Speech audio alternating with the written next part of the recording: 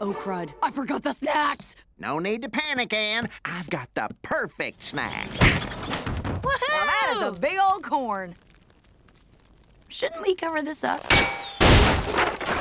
No, I forgot something. Boy, that escalated quickly. I mean, that really got out of hand fast. Woo! Best snack ever! I can't feel my face.